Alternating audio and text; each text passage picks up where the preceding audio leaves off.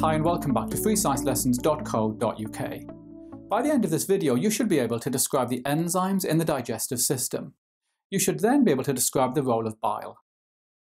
In the last video, we looked at the digestive system. We saw that large food molecules are digested by enzymes into smaller molecules.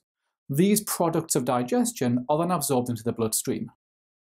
So in this video, we're looking at the enzymes involved in digestion.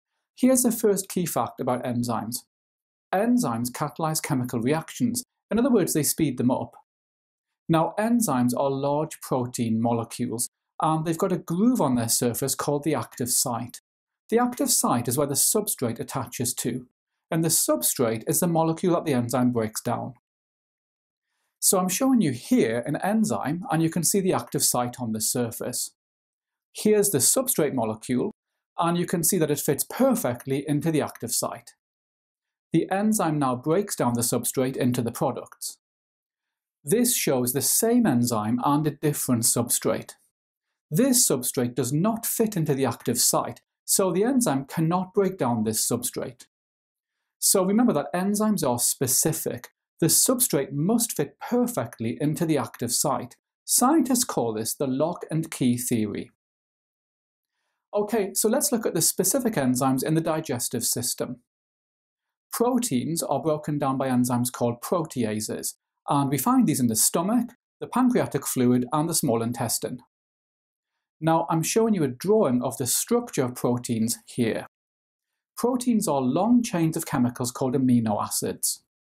When we digest proteins, the protease enzymes convert the protein back to the individual amino acids, which are then absorbed into the bloodstream. When the amino acids are then absorbed by the body cells, they're joined together in a different order to make human proteins. We're going to look now at the digestion of starch, which is an example of a carbohydrate. I'm showing you the structure of starch here. As you can see, starch consists of a chain of glucose molecules. Now, carbohydrates like starch are broken down by enzymes called carbohydrases, and in the case of starch, the specific enzyme is called amylase. When carbohydrates like starch are digested, we produce simple sugars like this. Amylase is found in the saliva and it's found in the pancreatic fluid. Okay, we're going to look now at the digestion of lipids, and lipids have this structure. A lipid molecule consists of a molecule of glycerol attached to three molecules of fatty acids, and again, you could be asked that in your exam. Lipid molecules are digested by the enzyme lipase, and this produces glycerol and fatty acids like this. We find lipase in the pancreatic fluid and also in the small intestine. Now, the digestion of lipids also involves bile, so we're going to finish by looking at that. Bile is made in the liver and it's stored in the gallbladder.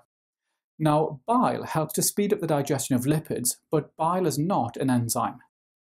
This shows a lipid droplet and lipase enzymes. Bile converts large lipid droplets into smaller droplets, like this. Scientists say that bile emulsifies the lipid.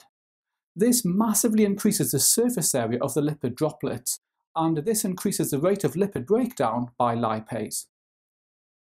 Now bile is also alkaline, and this allows it to neutralize stomach acids, creating alkaline conditions in the small intestine and again, this increases the rate of lipid digestion by lipase. Remember that you'll find plenty of questions on enzymes in the digestive system in my revision workbook, which you can get by clicking on the link above.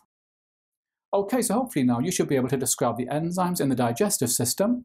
You should then be able to describe the role of bile.